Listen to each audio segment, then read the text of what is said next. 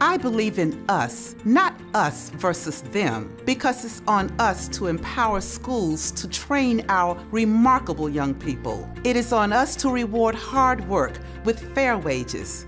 And it is on us to make sure all of us have affordable, quality health care.